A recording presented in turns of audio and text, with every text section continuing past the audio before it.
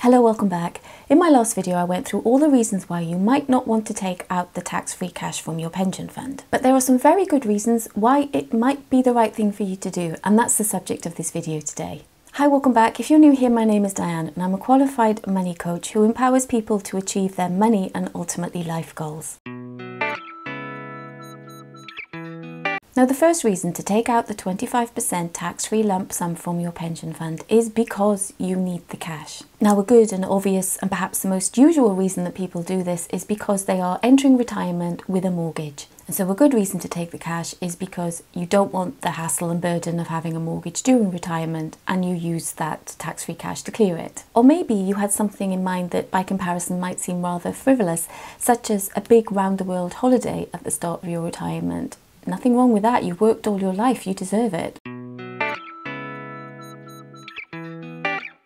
Now with some DB, also more commonly known as final salary schemes, you have the option to take out some tax-free cash at the start of the pension in exchange for a lower regular amount. Now why on earth might you want to do that? This one is not for the faint-hearted, but you might want to take out the tax-free cash from your DB pension and invest it somewhere else where you believe that you will get a better return as opposed to receiving the full regular amount. You are confident with what you can do with that tax free cash that will give you an overall bigger income as opposed to the total fixed regular income that you'll get from your DB pension. This is of course a very risky thing to do and bigger returns as compared with your full final salary pension are absolutely not guaranteed but if that's something that you have the appetite for, then that's a reason to take out the tax-free cash from a DB fund. And given that annuity rates are currently at 15-year highs, then you could consider taking that tax-free cash and buying an annuity with it so that you have a total guaranteed income that is perhaps bigger than your existing DB pension. Now the third reason to take the tax-free cash is if your sole income in retirement is from your DC pension fund. Because if you are taking all of your income from your pension fund and you find that you need to go into a higher tax band, this might mean that you are draining your pension fund, you are taking money from that pension fund much faster than you had anticipated. Whereas if you take that tax-free cash out of your pension fund and invest it in a tax-free wrapper within a stocks and shares ISA, that means that that money will be growing as well, albeit with the ups and downs of the stock market as per your pension fund.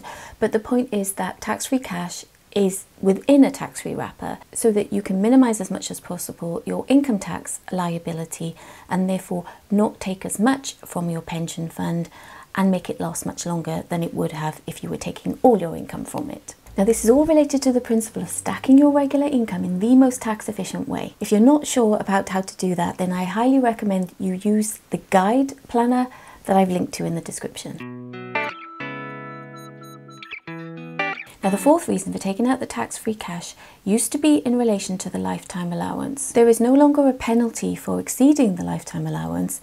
However, the Labour Party have said that if they get into power next year, they will immediately reinstate the LTA. So, because of this uncertainty around the future of the lifetime allowance, it's worth bearing this reason in mind. And of course, assuming that a Labour government do reinstate the lifetime allowance, we have no idea right now whether they will reinstate it as it was or come up with a lower or higher threshold. We just don't know. This makes planning ahead very difficult if, for example, you're 73 right now and we can assume that the LTA test will apply at the age of 75 again. This flip-flopping and tinkering around with pension rules is so unhelpful for planning for your future. So in the meantime, if you do have the very good problem of being close to the LTA threshold, then you have to bear this in mind that a good reason to take out the tax-free cash would be if you would exceed a future imposition of the LTA.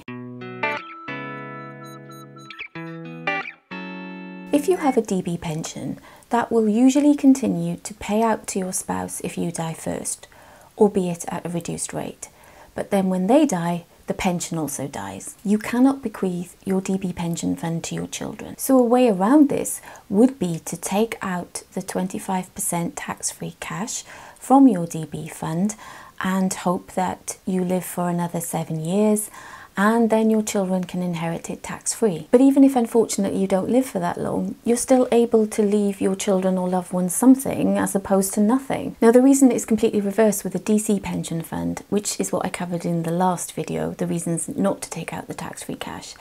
There's a link in the description. Do go and watch that after you've watched this one. Because leaving your money within a DC pension fund means that it's not subject to inheritance tax, which is a good reason not to take out the tax-free cash. But that's of course the trade-off you're making between a DB and a DC fund if you are interested in leaving as much money to your loved ones as possible as opposed to spending and blowing it all yourself. So in conclusion, as you can see what I've covered over the course of these two videos and particularly the last point there that I've touched upon with respect to inheritance tax, there is no right or wrong answer when it comes to taking that tax free cash. If anyone is telling you that there is a definitive right or wrong perfect answer, then they're wrong. The decision that you make with respect to your pension in general, and particularly the tax free cash, is unique to you and your specific circumstances and your wishes for your retirement. It's the same with everything when it comes to personal finance. That's the point. It's personal and unique to you, so don't forget that. This is a complex subject, so I hope that you found this information useful and most importantly clear and easy to understand. Please let me know in the comments. But if this is all a bit too complicated and you want to go back to learning about the very basics of UK pensions, then watch this video next. I look forward to seeing you in the next video.